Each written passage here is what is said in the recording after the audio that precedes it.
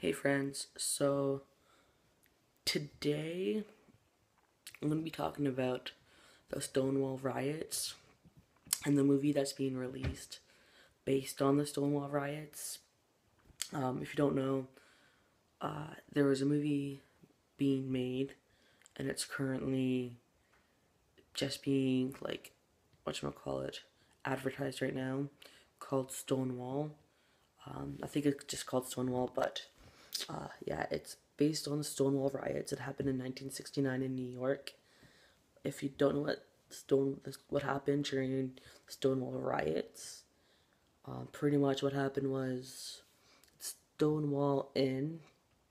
Um, there was like an inn club kind of thing, and police were raiding it, and so the people at the inn were like, you know, we can't do this anymore. We're gonna fight back. And if you don't know what this place was all about, it was like a club for like LGBTQ plus people in New York to go to kind of thing. And so these people had like stood up and been like, you know, what, we're not gonna take this anymore because we are people and we want rights.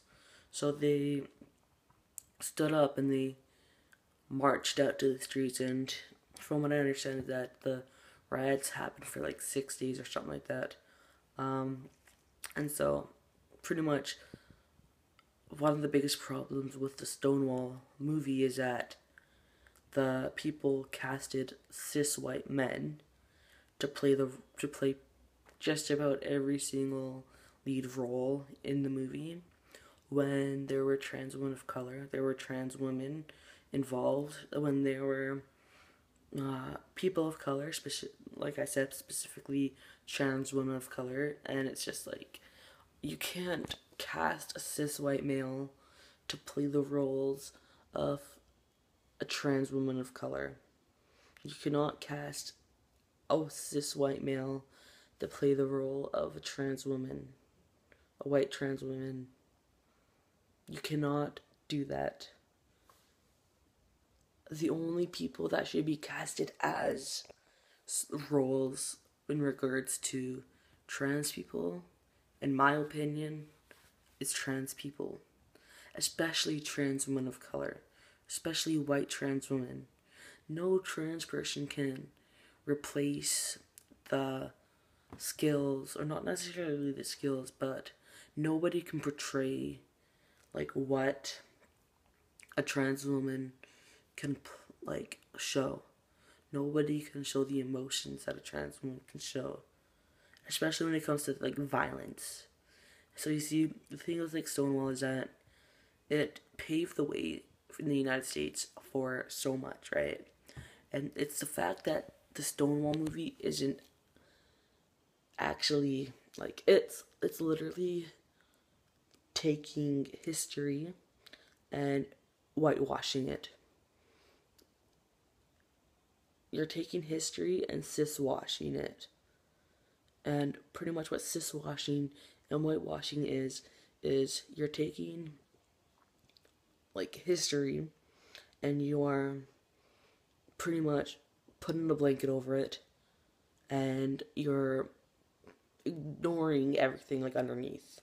So like for example, like whitewashing is you're taking like white people and you're like making it as if white people are the reason why that LGBTQ plus people in the United States have what they have now. Cis washing is pretty much saying that only cis people exist in the LGBTQ plus community. You know, there's so many trans women in our world, and they often get ignored. And the reason why I speak about it is because I, as a trans masculine person, I have so much privilege as a trans masculine person, and I often am able to do these things that not many people can do, or not necessarily that, but like I experience a certain amount of privilege that someone else might not, right? And so, like, I want to be able to speak about it and be able to allow other people to understand that accept your privilege and understand that you cannot always be the person that is like trans kind of thing, I guess, if that makes any sense. And so, pretty much, I want people to understand that, like, you as a trans person, or you as a cis person, I should say, have so much privilege over tr- trans people because you are cis.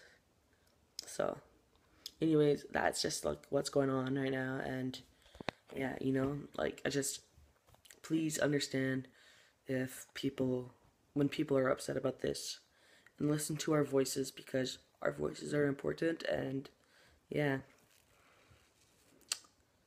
Take care. Bye